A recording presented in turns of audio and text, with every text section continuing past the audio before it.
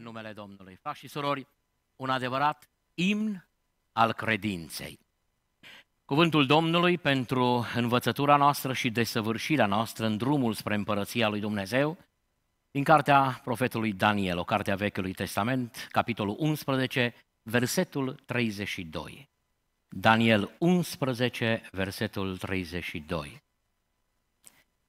Dar aceea din popor, chiar poporul Filadelfiei, care vor cunoaște pe Dumnezeul lor, vor rămâne tari și vor face mari isprăvi. Amin. Vă invit să ocupați locurile.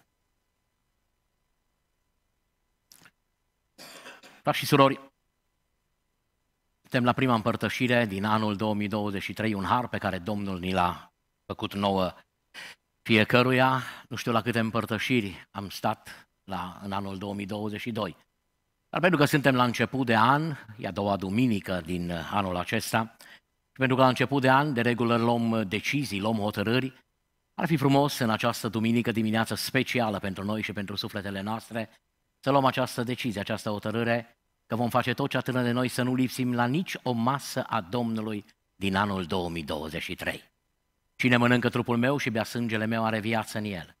Iar în ziua aceea, ziua binecuvântată, îl voi învia, spunea Mântuitorul Iisus Hristos.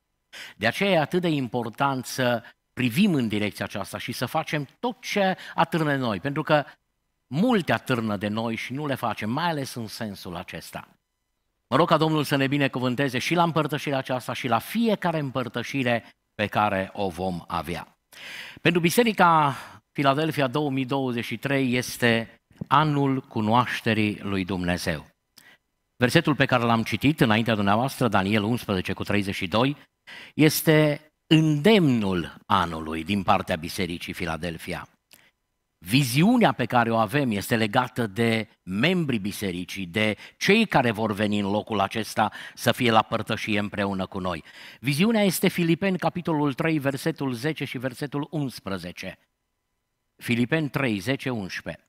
Și să-L cunosc pe El și puterea învierii Lui și părtășia suferințelor Lui și să mă fac asemenea cu moartea Lui ca să ajung cu orice chip, vă rog rețineți, dacă voi putea, la învierea din morți. Sunt cuvintele Sfântului Apostol Pavel, un om cu greutate în lucrarea lui Dumnezeu. Și totuși omul acesta vine și spune, mă silesc, alerg, fac tot ce trebuie să fac, pentru că am un deziderat, am o țintă. Știți că tot în Filipeni el spune, alerg spre țintă, alerg spre premiul chemării cerești, să ajung cu orice chip la învierea morților. Și salutul Bisericii Filadelfia nu îl dăm nici celor de la Porpiria acum, nici celor de la Logos Cluj uh, și celor care ne vizitează, pentru că mai suntem împreună, ați venit special și pentru convenție și poate după aceea veți fi și pentru anumite servicii divine pe care le vom avea în locul acesta la părtășie, dar salutul bisericii în anul acesta este 2 Petru 1 cu 2. Salutul întotdeauna este ca o urare, ceva ce dorim. Am primit un mesaj astăzi de la o familie, două familii de fapt, care sunt plecate din biserica noastră și sunt în Brisbane. Și mi-au scris și vor fi în Brisbane și la Gold Coast în duminica aceasta. Și mi-au scris, frate Gabi, trimiteți-ne salutul bisericii. Vrem să salutăm biserica unde vom fi, bisericile unde vom fi. Care e salutul? 2 Petru 1 cu 2. Harul și pacea să vă fie înmulțite, vă rog rețineți. Har și pace să vă fie înmulțite prin cunoașterea lui Dumnezeu și a Domnului nostru Isus Hristos și toți cei care suntem în această dimineață să spunem mărit să fie numele Domnului. Anul cunoașterii lui Dumnezeu.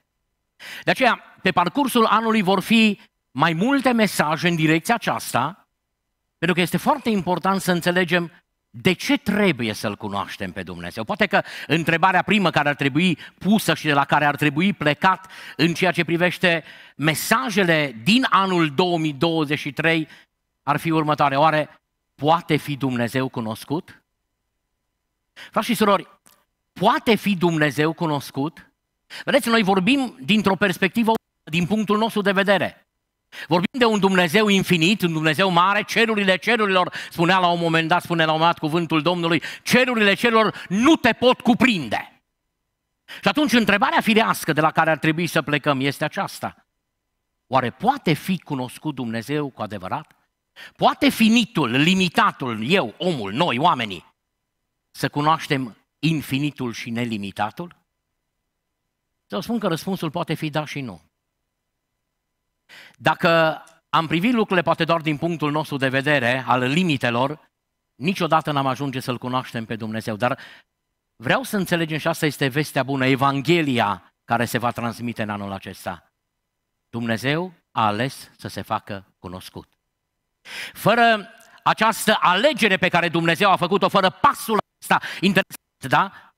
Dincolo de orice altă încercare, Dumnezeu a făcut pasul înspre noi ca să fie cunoscut. Și noi să avem acces la ceea ce înseamnă cunoașterea lui Dumnezeu. În uh, Romani, în capitolul 1, versetul 19 și versetul 20, spune cuvântul Domnului, fiindcă ce se poate cunoaște despre Dumnezeu, le este descoperit în ei. Frați și surori, vă rog rețineți aspectul acesta, fiindcă ce se poate, adică suficientul de care am nevoie. Sunt lucruri care nu se pot cunoaște despre Dumnezeu. Deuteronom 29 cu 29 spune că lucrurile ascunse sunt ale Domnului, iar lucrurile descoperite sunt ale noastre, ale oamenilor. Înseamnă că există lucruri pe care Dumnezeu încă nu le-a descoperit și le ține într-o taină a Lui. Slava lui Dumnezeu, spune în altă parte în Scriptură, stă în tăinuirea lucrurilor.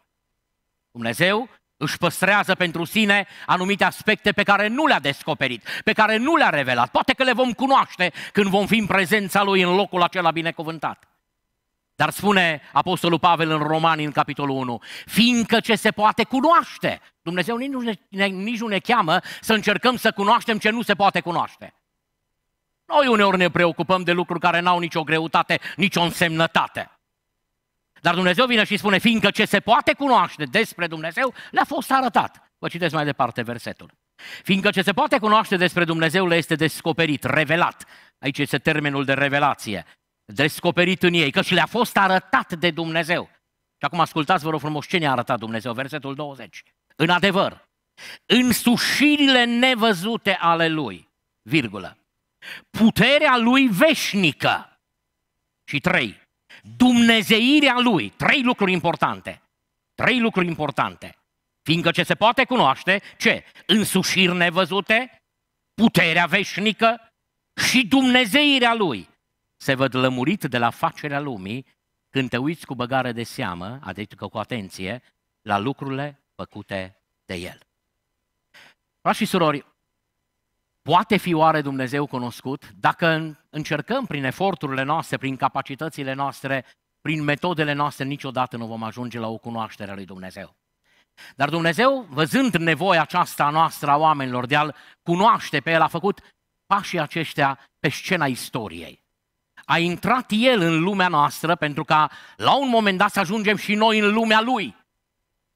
Fără intrarea Lui în lumea noastră, noi n-am fi avut acces niciodată în dimensiunea Lui, în, în sușirile nevăzute, în puterea Lui cea veșnică și nici în Dumnezeirea Lui. Niciodată n-am fi reușit să ajungem în locul acela și să putem să percepem lucrurile.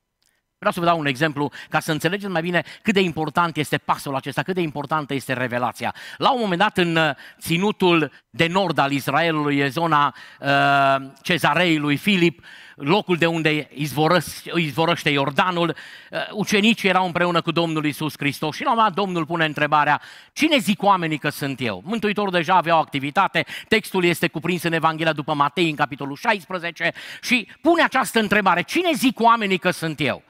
Acum fiecare vine cu un răspuns și spune, păi unii zic că ești Ioan Botezătorul, alții zic că ești Ilie, alții că Ieremia și au avut anumite afirmații în dreptul Mântuitorului. Și Domnul nu se mulțumește cu superficialitatea, nu se mulțumește cu generalul.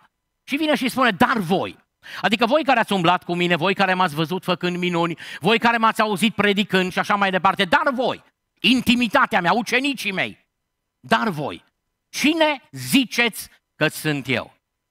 Și parcă a fost așa un moment de tăcere acolo. Ucenicii n-au știut exact ce să zică. Erau și influențați de fel și fel de, de vorbe care erau în jur. Petru face un pas în față ca și purtător de cuvânt al generației lui, al ucenicilor și spune, tu ești Hristosul, Sfântul lui Dumnezeu. Și Domnul Iisus Hristos spune, Petre, am să spun ceva, ferice de tine, nu carnea și sângele, adică nu abilitățile tale, nu capacitățile tale, nu inteligența ta, haide să folosesc expresia aceasta, te-au dus la această concluzie, la acest rezultat. Și lucrul acesta ți-a fost descoperit de Tatăl meu care este în ceruri. Fără descoperirea aceasta pe care Tatăl meu care este în ceruri, nu ți-ar fi făcut, dacă n-ar fi fost descoperirea aceasta, tu n-ai fi știut că eu sunt Hristosul, Sfântului Dumnezeu. Ei, vă rog, luați afirmația aceasta, luați experiența aceasta din cezarea lui Filip, de la poalele muntelui Hermon și extrapolați-o, puneți-o, vă rog frumos, în tot ceea ce înseamnă cunoașterea lui Dumnezeu. Ea spune că fără descoperirea Tatălui, fără revelația aceasta, noi n-am fi putut să-L cunoaștem niciodată pe Dumnezeu. Poate că textul care cuprinde cel mai amplu revelație și permiteți-mi o definiție, nu fac un curs de teologie sistematică înaintea noastră, deși este una din disciplinele care mie personal îmi plac foarte mult, dar aș vrea să înțelegem, pentru că vorbim din Scriptură și Scriptura face teologie, chiar dacă unora nu le place teologia. Scriptura este, teologie vine dintr-un cuvânt de origine greacă, teos înseamnă Dumnezeu și logos înseamnă cuvânt. Cuvânt despre Dumnezeu. Și putem să avem cuvântul acesta sau teologia datorită faptului că Dumnezeu ne-a descoperit. Însă și revelația care o am aici, Scriptura, 66 de cărți, 39 în Vechiul Testament și 27 în Noul Testament. Sunt pasul lui Dumnezeu spre noi, sunt descoperirea. Am fi putut să cunoaștem ceva dacă n-am fi avut Scriptura? Am fi putut să înțelegem evenimente derulate în istorie, s-a amintit aici istoria poporului Israel, pași și s-a citat din uh, Evrei, din capitolul 3 și Evrei, capitolul 4 și așa mai departe, fără intervenția lui Dumnezeu și fără descoperirea lui Dumnezeu.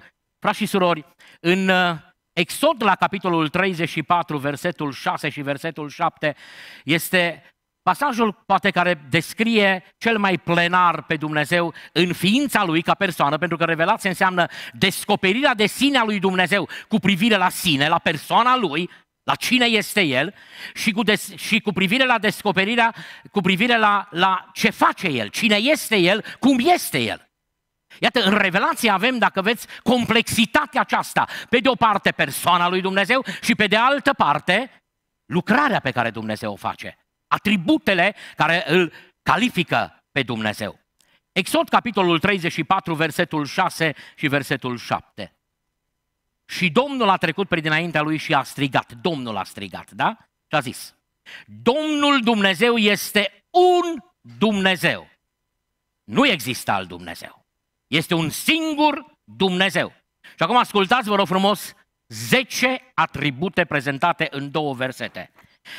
Un Dumnezeu plin de îndurare și milostiv, încet la, la mânie, plin de bunătate și credincioșie, un Dumnezeu care ține dragostea până în mii de neamuri de oameni, un Dumnezeu care iartă fără de legea, iartă răzvrătirea și iartă păcatul, un Dumnezeu care nu socotește pe cel vinovat drept nevinovat, adică un Dumnezeu și drept. Zece atribute și unicitatea Lui. Într-un singur pasaj, în două versete, care ne sunt prezentate. Știți de ce? Frați și surori, Dumnezeu vrea să fie cunoscut. Asta e un lucru foarte important. Mi-ar plăcea să ținem minte lucrul acesta. Tocmai de aceea este descoperirea aceasta. Dumnezeu vrea să fie cunoscut. Puneți-mi, vă rog frumos, Deuteronom 32 cu 39. E un moment extraordinar, momentul în care se predă ștafeta, Moise se retrage și preia Iosua. Deuteronom 32 cu 39. Ascultați, vă rog frumos, ce revelație avem aici. Să știți dar că eu sunt Dumnezeu și că nu este alt Dumnezeu afară de mine. Frați și surori, Moise urma să se retragă de pe scena istoriei și să intre Iosua. Moise stă în fața generației care urma să cucerească Canaanul și aveau nevoie de o revelație, aveau nevoie de un suport. Eu sunt Dumnezeu și nu este altul afară de mine. Eu dau viața, eu omor, eu rănesc, eu tămăduiesc și nimeni nu poate scoate pe cineva din mâna mea. Mărit să fie numele Domnului. Ăsta este Dumnezeu. Dumnezeu vrea să fie cunoscut. De aceea face pasul acesta mare înspre omenire, pentru că Dumnezeu vrea să fie cunoscut. Dumnezeu nu e undeva izolat. Există atâtea, atâtea teorii cu privire, n-am să insist asupra lor, nu face obiectul gândurilor din această dimineață, atâtea teorii cu privire la, la existența lui Dumnezeu. Noi, o parte de noi venim din generația aceea uh, comunistă, ne-am am crescut acolo, ne-am format în generația și mulți dintre cei care mă ascultați în dimineața aceasta veniți din România comunistă, în care am fost, uh, eu știu, uh, îndobitociți într-un fel cu ateismul comunist. Așa-i? Și ateismul ne-a spus, nu Dumnezeu. Nu este Dumnezeu. Și o teorie. Acum, tot mai mulți care scot și nu îi obligă nimeni. Nimeni nu vine să-i constrângă și să spună că nu este Dumnezeu. Și am ajuns efectiv într-o lume agnostică, agnosticism, într-o lume politeistă, într-o lume panteistă și așa mai Sunt atâtea și atâtea teorii cu privire la existența lui Dumnezeu.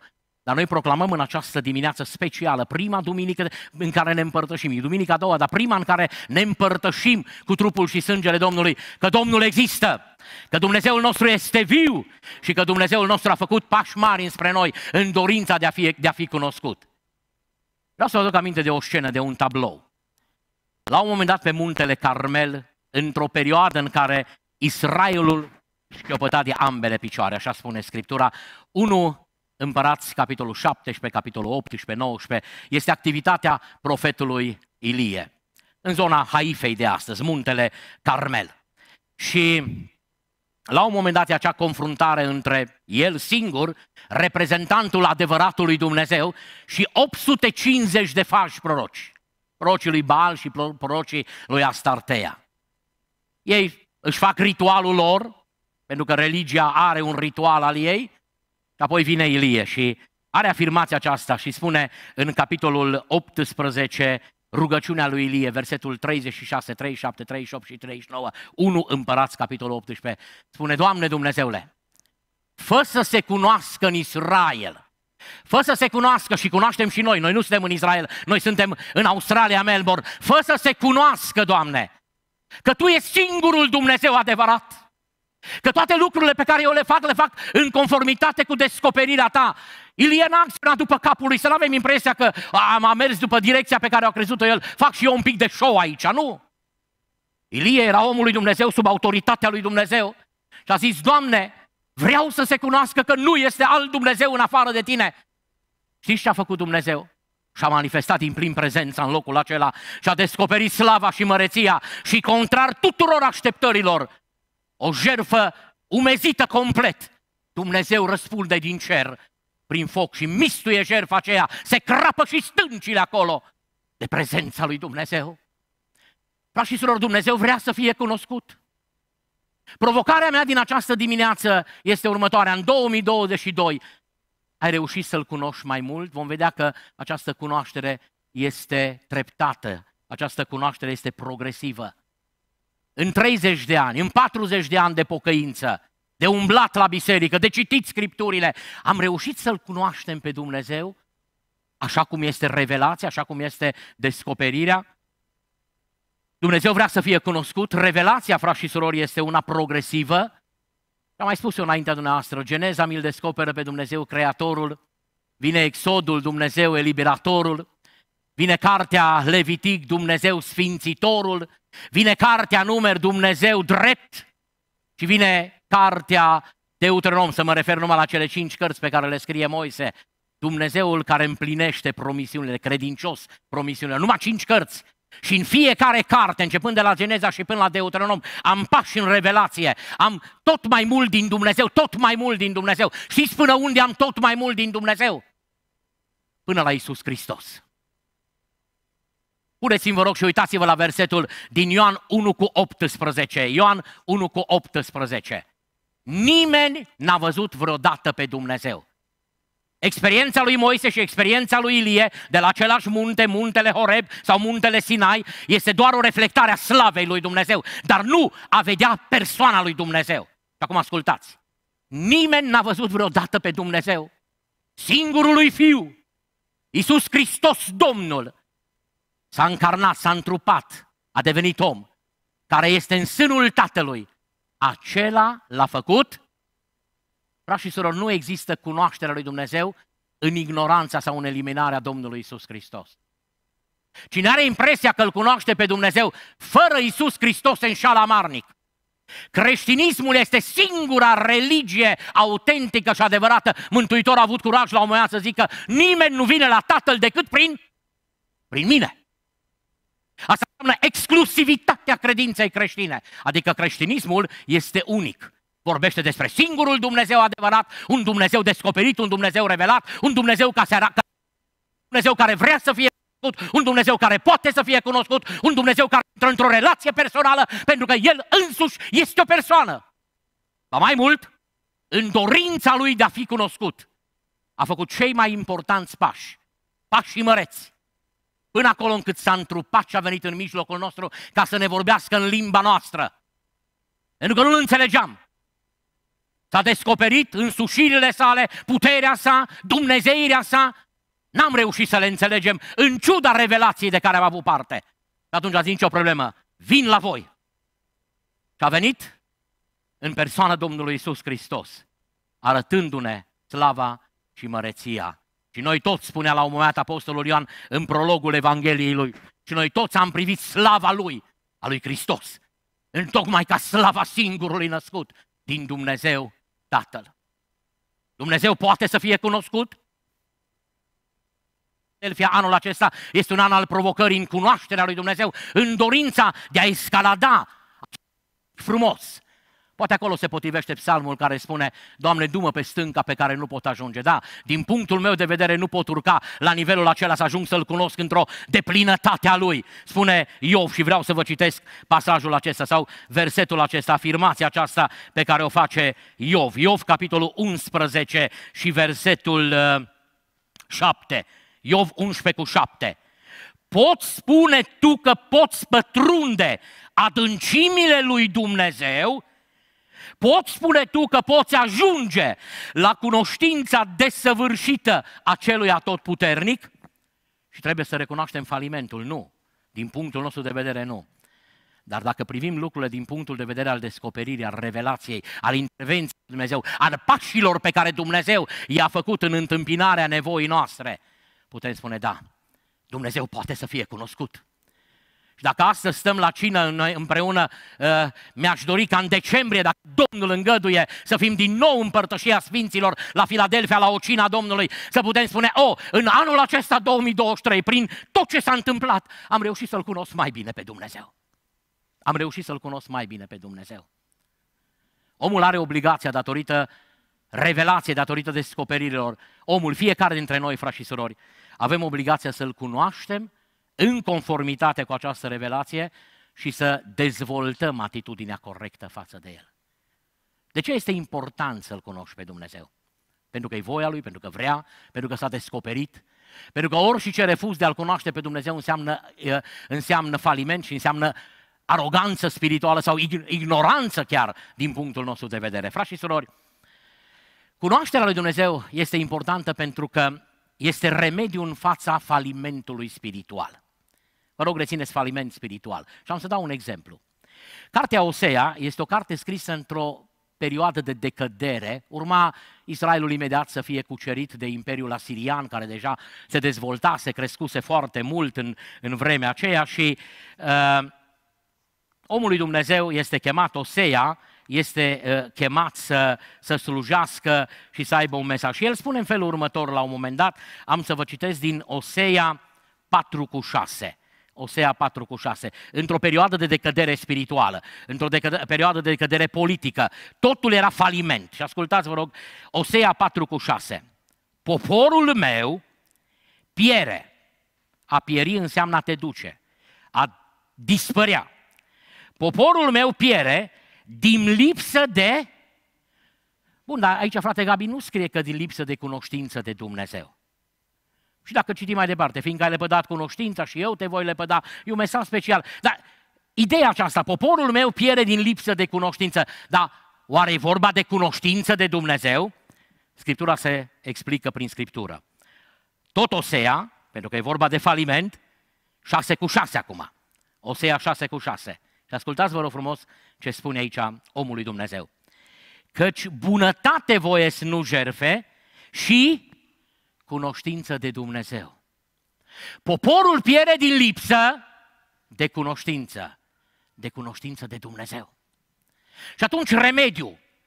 Cum voi remedia situația dacă lipsa de cunoștință duce la faliment? Mai fac o paranteză aici.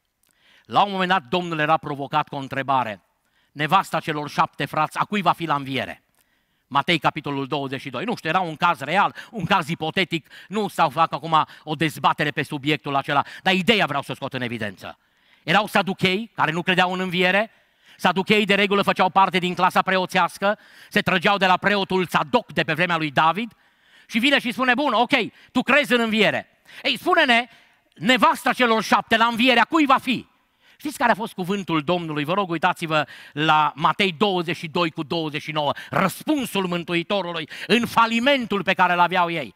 Spune, vă rătăciți, pieriți din lipsă de cunoștință, vă rătăciți pentru că nu cunoașteți nici Scripturile. Ăsta e un cuvânt foarte greu pentru preoți.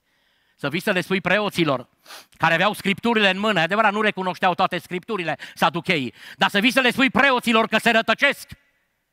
Dar asta era adevărul. Faliment spiritual. De ce?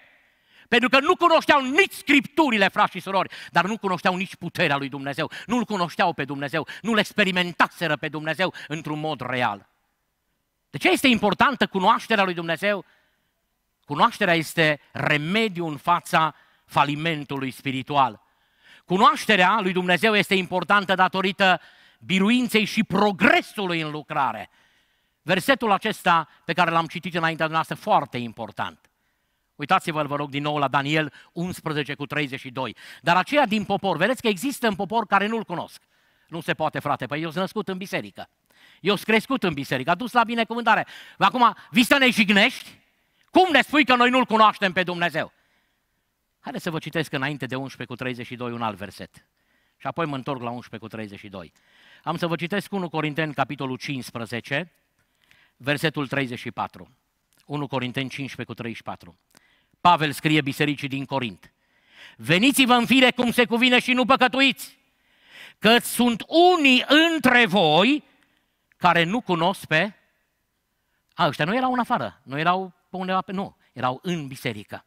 Sunt unii între voi care nu cunosc pe Dumnezeu. Spre rușinea voastră spun.